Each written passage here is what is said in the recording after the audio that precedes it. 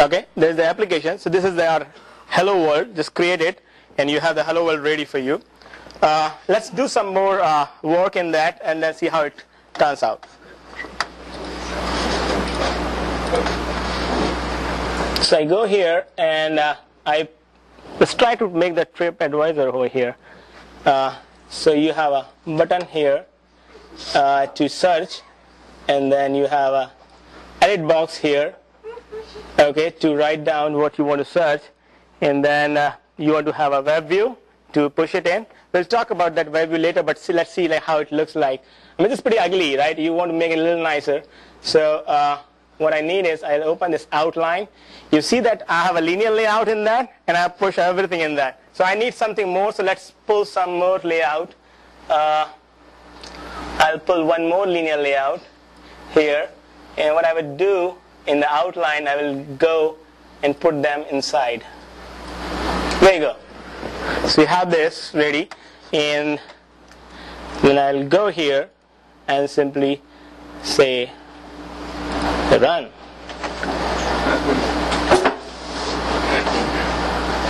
So every time I run, it will package and install an application into the phone and then run the application in the phone. So it does entire process. There you go. So you have this. Now, now let's see what's happening behind the scene. I want you to see that what is happening behind the scene. Uh, so uh, I'll show you that from the file system that what is happening underneath. Uh, open the place where I am putting all this, which is my work folder, and Jug demo. So we see this uh, behind the scene. What is happening is when you compile it, it's getting compiled into the class file. This is what usually you see, and uh, it is creating a .dex file. This is that Dalvik executable, which is finally is being run into Dalvik, Dalvik virtual machine. Okay, and then this is uh, jugdemo.apk. I was wondering that how spatially it does. So what I did, I just went there and made it zip. okay, and then I open it. And I see that there's no big deal is happening inside. You know, the same file, they name it as APK. Inside they have simply put everything, you know, in there. No big deal. Okay. I'm going to make it APK back to make my emulator happy. All right, so uh, TripAdvisor, I promise you that when you go home that you will have something for TripAdvisor this night ready. So let's try to make something, put the put the uh, web view so that you can see the TripAdvisor, you know, coming in that. I'm not sure if I'll, uh, uh, I'll try my best to do that. I have written a small application for, for my own startup easydia.com, which helps you to find trusted expert. And I'll show you that, you know, how that shows up and, and what else I did beyond this Hello World application in, in that app. So uh, I call it uh, Trusted uh, Expert Finder. And if you see in that, uh, I have just these three classes. Out of these three classes, I do not use test HTTP because I don't like doing JUnit testing. I'm just kidding. but okay, so let's see that. You know, this is different, uh, something different. I'll show you that how easy you can put the preference.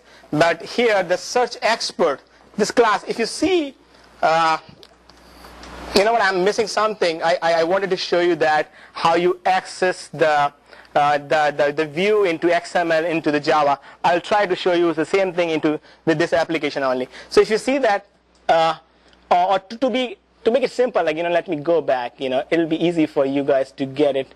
Uh, here, if you see that, and and, and we remember we added two more uh, uh, view. One is a button, and other is an edit box. So what you need to simply do here is uh, make a edit box.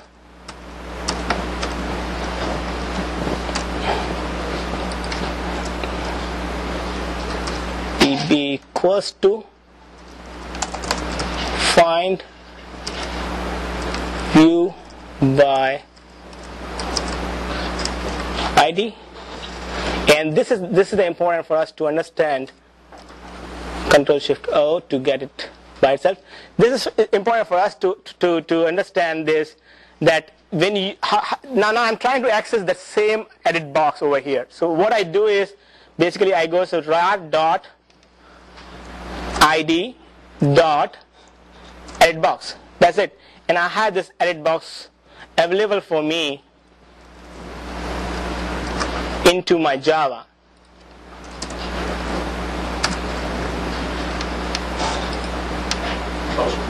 Control Shift oh, O doesn't work today. with, with, the, with the projector, it doesn't work.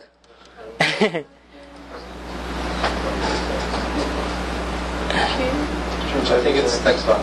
Yeah, change the edit text. Edit text. Thank you.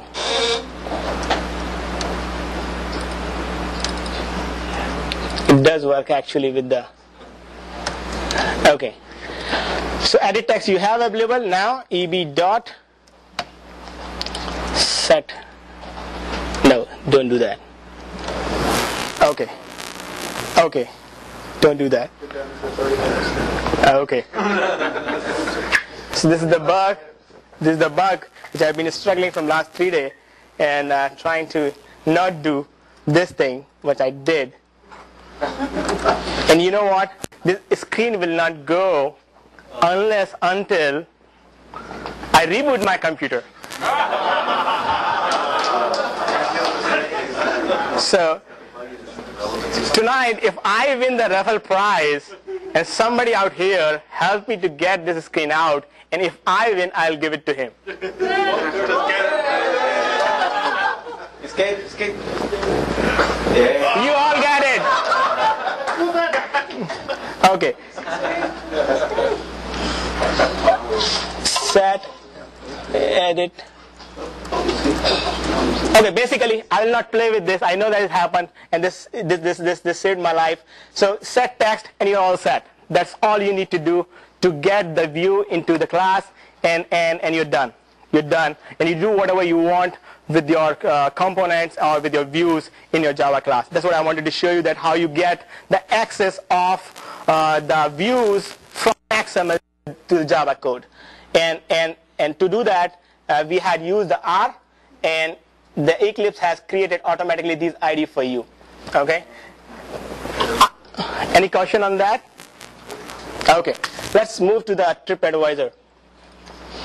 Okay, the demo I'm showing you here is is simple this class and what this class is does is has the okay let me open the the XML okay this is a simple main XML and this is like tripadvisor.com if you see that Java uh, this, is the, this is the edit text and this is the search button same and this I have put to show you the how you can easily set the preference in application. This is the web view, what Andrew was talking about. And I'll show you in, in next two minutes how easy to get the web view into your application and to, to deal with that. So what you do is simple, one line.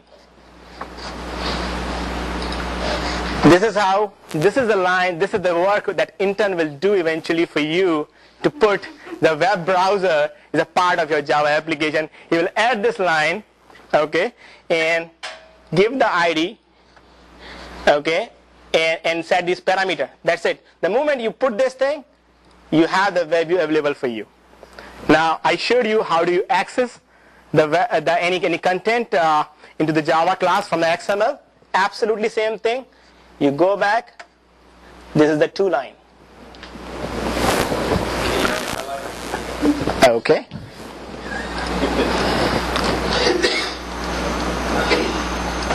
Is visible? Okay, so what I did is find my ID and I just get the ID and I say that oh, okay JavaScript support all the JavaScript thing. That's it. I did this and then what I did, I wrote uh, a okay swing guy, those who have written the swing, they know what is action listener, right? So the same action listener, something like on click listener, so what I did is when somebody click on the search button, it goes to the to